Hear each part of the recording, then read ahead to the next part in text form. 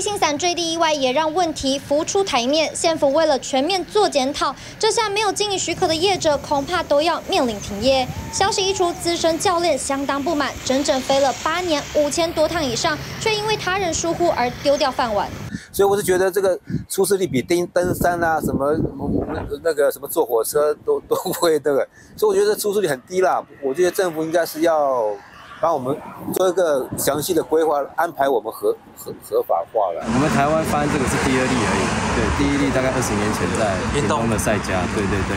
那这么长的时间，这么多的航次以下，那。我们不应该因为一例的疏失来去做一个全面的封杀，我觉得这对我们来说真的是很很不公平。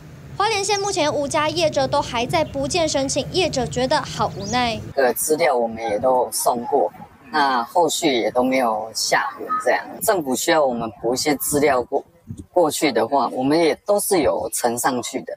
那后续的下文到底是什么，我们通通都不知道。我们也是按照体育署的一些规定。办法，我们也是下去做。业者指控被污名化，明明场地、教练证照、保险都按照规定执行了，也有进行补件申请，却逼着他们只能关门，生意不用做了，更是掀起退订潮。目前大概三到四成，对，定金都会退。OK OK。业者说不是不想合法，而是地方政府没有制定自治条例，中央也没有针对非法业者规定停业等相关法则。目前只有屏东和宜兰有法可管，其他地方只能靠业者自律。发生意外后，教育处承诺会拟定相关法条进行规范，因为政府不纳管，无法有效管理，业者、游客都没保障。TBS 新闻高中严胜芬花莲采访报道。